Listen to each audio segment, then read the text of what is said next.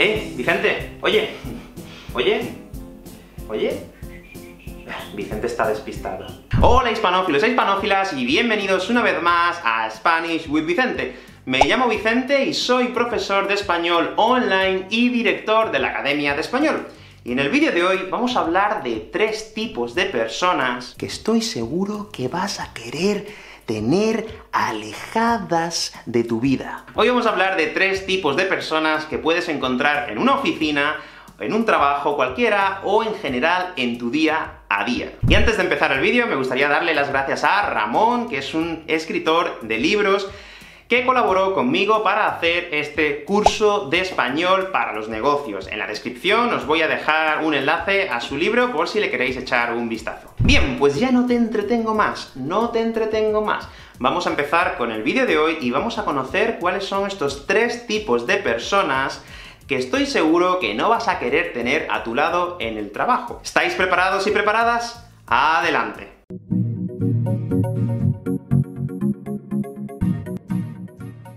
Bien, pues como te he dicho, te voy a hablar de tres tipos de personas que puedes encontrar en una oficina y en general en el día a día. El primer tipo de persona del que vamos a hablar son los despistados o las despistadas. ¿Y qué pasa exactamente con estas personas? ¡Ay! ¡Qué guay el cactus! Los despistados y las despistadas son este tipo de personas que pierden su cabeza por cualquier cosa, incluso por una mosca. En todos los trabajos y en general, en cualquier trabajo y en el día a día, hay muchas personas despistadas. Hay muchas personas que están haciendo una cosa y están pensando en otra cosa completamente diferente. ¿Qué puedo comer hoy, en verdad? Eh, ¿Pizza? No, pizza no. Macarrones. Macarrones, sí, sí. Oye, ¿tú no estabas grabando un vídeo? Los despistados y las despistadas están siempre en babia. Ya te expliqué hace tiempo que era esta expresión, estar en babia básicamente significa estar despistado. Y también tenemos un verbo relacionado con este adjetivo, que es despistarse. El verbo despistarse hace referencia a que pierdes tu cabeza. Por ejemplo, yo algunas veces me despisto cuando estoy en conversaciones con muchas personas y empiezo a mirar el móvil. Es muy importante no despistarse cuando estás haciendo algo importante, porque puedes tener un accidente. Hay mucha gente que va por ahí conduciendo y a veces pues se despistan con el teléfono móvil. También lo podemos utilizar con el verbo estar, estar despistado.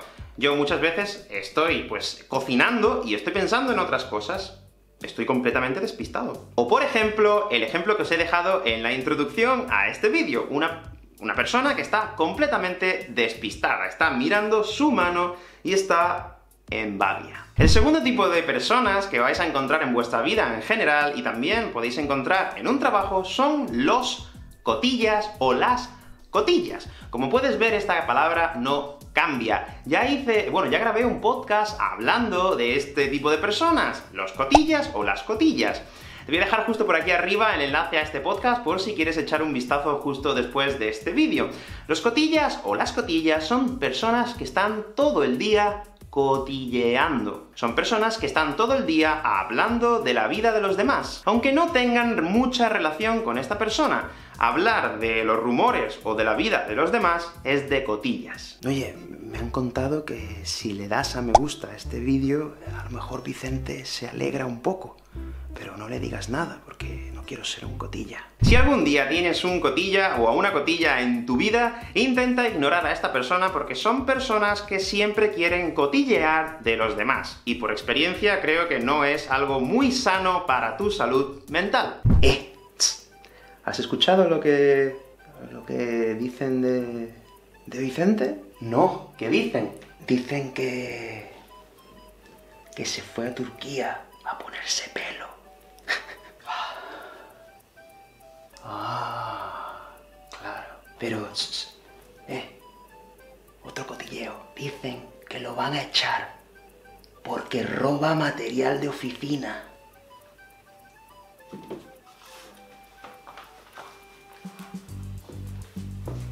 ¿Material de oficina? Qué poca vergüenza. Madre mía. Bueno, me voy a mi casa.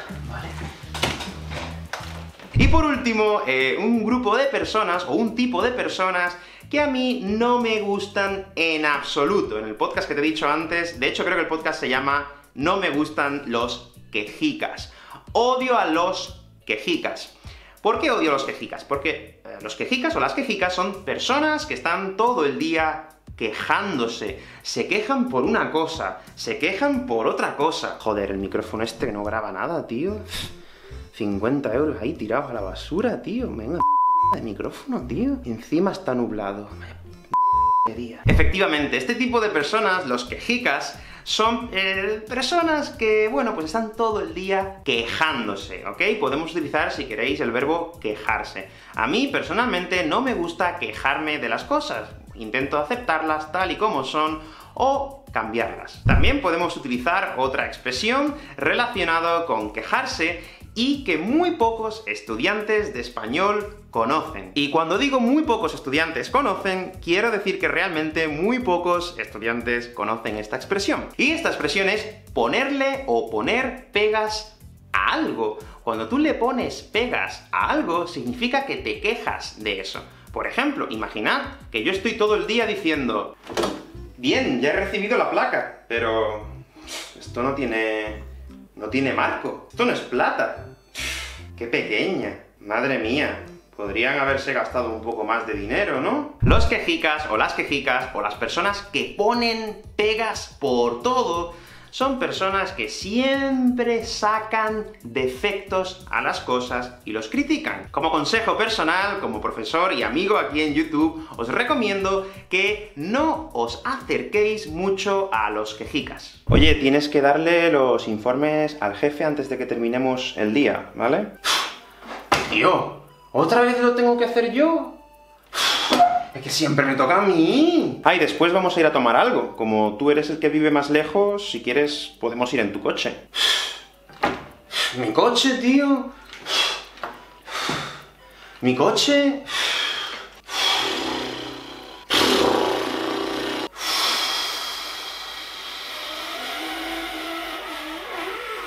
Vale, vale, tío, no seas tan quejica. Como habéis visto, tanto esta palabra, ser un o una quejica, y ser un o una cotilla no tienen su variante masculina. No existe ser un quejico y no existe ser un cotillo. No. Y los verbos son muy parecidos, pues de ser un cotilla, el verbo sería cotillear. Y de ser un o una quejica, el verbo sería quejarse de algo. Y también podéis utilizar la expresión ponerle pegas a algo, que de hecho es una expresión muy común en el día a día aquí en España. Bien, queridos hispanófilos hispanófilas, eso ha sido todo en el vídeo de hoy. Espero que os hayan gustado este tipo de... Bueno, en realidad, no, espero que no os hayan gustado estos tres tipos de personas que podéis encontrar en una oficina o podéis encontrar en vuestro día a día. Si te sientes identificado o te sientes identificada con algunos de estos tres tipos